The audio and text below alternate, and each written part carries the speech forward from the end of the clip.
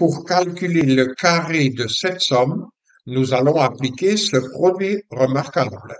Produit remarquable qui dit que un premier nombre plus un deuxième nombre au carré, c'est le carré de ce premier nombre plus deux fois ce premier nombre fois ce deuxième nombre plus le carré de ce deuxième nombre.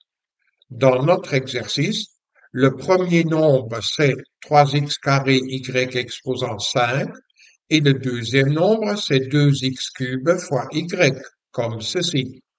Donc, en appliquant ce produit remarquable, nous trouvons de suite que ce carré est la même chose que le premier nombre au carré plus deux fois le premier nombre fois le deuxième nombre plus le deuxième nombre au carré.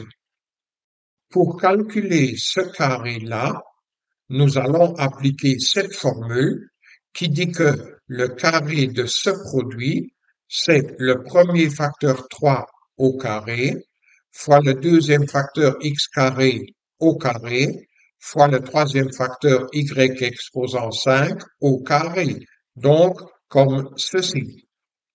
Pour calculer le deuxième terme, nous allons appliquer cette formule-là qui dit que dans ce cas, il faut additionner les exposants.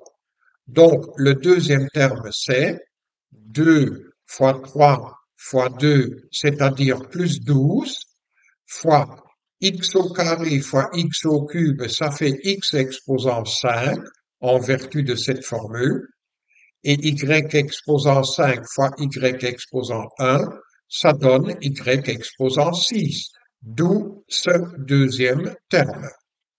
Et pour le troisième terme, nous allons de nouveau appliquer cette formule-là qui dit que ce carré est égal à 2 au carré fois x au cube au carré fois y au carré, donc comme ceci. Pour calculer ce carré-là, ce carré-là, ainsi que ce carré-là, nous allons appliquer cette formule-là qui dit que dans ce cas, il faut multiplier les exposants. Donc, nous avons ici 9 fois x exposant 4 fois y exposant 10.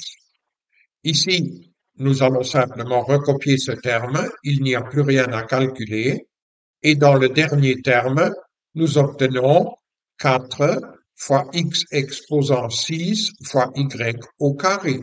D'où cette réponse finale, et l'exercice est déjà terminé.